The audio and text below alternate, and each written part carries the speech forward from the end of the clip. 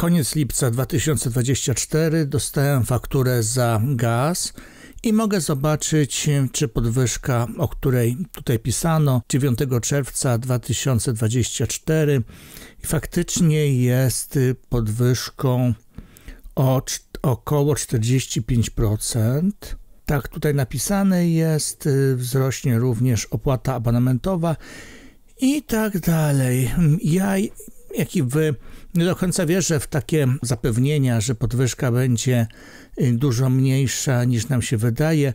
Z reguły wydaje się, że mm, potem życie pokazuje, że te podwyżki są dużo, dużo wyższe. To się przekonaliśmy z prądem. Y, pokazywałem wam y, dwa tygodnie temu moją fakturę za energię elektryczną za lipiec, gdzie mogłem porównać ceny czerwcowo-lipcowe i widzieliśmy, że ta podwyżka była dość znaczna. Tyle samo zużyłem energii gazowej 209 kWh w lipcu, co w czerwcu.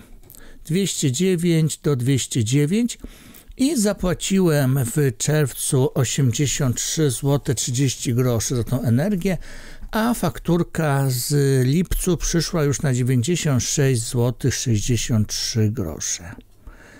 Czyli podwyżka jest już na tym zestawieniu widać, że płacę więcej niż płaciłem. Ile to procent?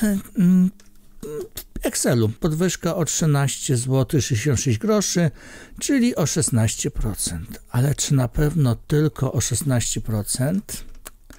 Nic bardziej mylnego, bo nie płacę, nie dostaję faktur za gaz od pierwszego dnia danego miesiąca do ostatniego, ale każda z tych faktur zahacza też koniec wcześniejszego miesiąca. W związku z tym tutaj jeszcze w ostatniej fakturze miałem za część zużytego gazu ceny z wcześniejsze, czyli za pierwsze półrocze 2024, a dopiero za drugą część miałem ceny aktualne. Tak ta faktura wygląda.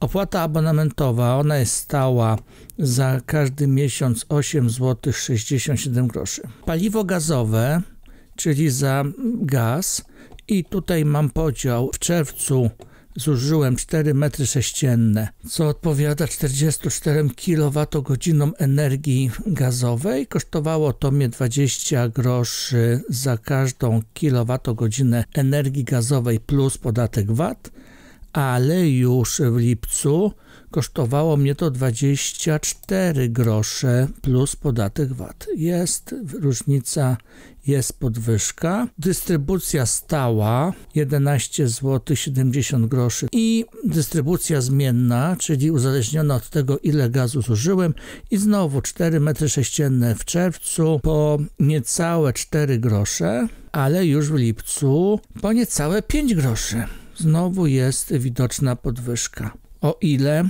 No to trzeba to do Excela wpisać. Wpisałem do Excela, już podałem Wam wartości z mm, podatkiem VAT 23%. Paliwo gazowe zdrożało równo o 20%. Dystrybucja zdrożała równo o 26%. I mamy sumę, bo sumowałem paliwo gazowe i dystrybucję, ponieważ to jest wszystko za kilowatogodzinę, to zdrożało sumarycznie o 21%. Cena gazu w rzeczywisty sposób, realny sposób wzrosła o 21%. Nie o 45%. Miłe zaskoczenie, Aczkolwiek wzrost cen o 21% nie jest, nie, nie jest to mało. Jeżeli za ogrzewanie domu płacicie 3000 zł, to będziecie płacić więcej o 630 zł, czyli 3630 zł będzie kosztowało Was ogrzewanie. Jak to ktoś powiedział, cieszę się, że pensje wzrosły, szkoda tylko, że też ceny wzrosły w tym samym czasie. Mamy podwyżkę o 21%. Zobaczcie, że energia gazowa jest tak tania. 36 groszy, czyli kilowatogodzina gazu jest mniej więcej o połowę tańsza niż kilowatogodzina prądu, nawet bardziej, nawet 2,5-krotnie jest tańsza energia gazu niż prądu. Więc dlaczego jest tak, że taniej jest jechać samochodem na prąd niż samochodem na gaz?